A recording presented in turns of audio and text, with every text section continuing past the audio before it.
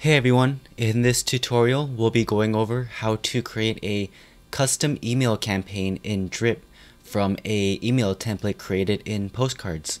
So in the Postcards app I have a template created and it looks like this. And the first thing we want to do is we want to add some Drip shortcodes to this template in the Postcards interface so we don't have to go through the code and update it like that. So the two shortcodes we need to add for Drip are these, the unsubscribe URL and inline postal address. And these are what the Drip shortcodes look like. So we'll be adding both of these to the footer. So for the first one, unsubscribe URL, we want to change this email link from an email to an unsubscribe link. So I pressed the footer, which opened up the menu, and it's in column 2. So now I'll search for the email, and I'll replace this text with unsubscribe, and paste in the shortcode. The next thing I want to change is this address, so the address is defined here. And I will copy this shortcode and replace the address with the shortcode and press done.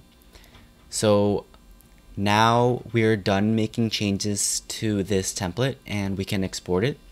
So I'll press the export button, download as zip, and make sure you, you have the host images online option selected so you don't have to download and manually deal with the images yourself. I've already extracted and downloaded my template and it looks like this. So this is just the email template created in Postcards. And next, I'll be going over how to create the custom campaign in Drip. So now I'm in the Drip interface in the campaigns page and I'll press new campaign. I'll call it postcards.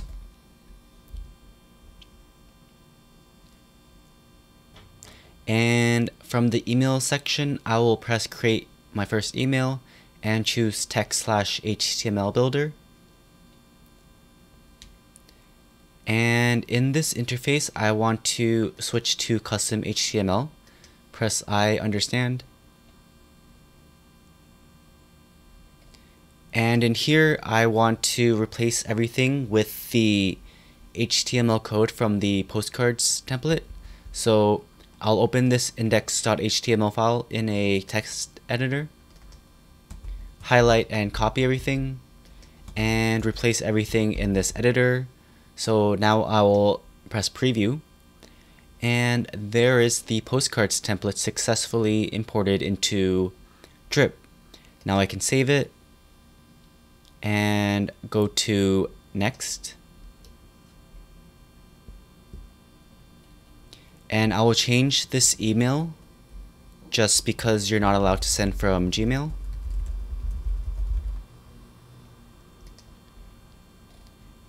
And then I will go back to emails. And you can also add in a subject. So now I'll press send test email. And next we'll be looking at what the test email looks like. So now I'm in my Gmail and this is what the test email looks like. It's basically the postcards template that was sent by Drip and the shortcodes were updated to be the values that it represents. And at this point, your campaign is ready to go in Drip, and you can send your emails or do whatever you want with them. And that was it for this tutorial. Until next time, see you guys later.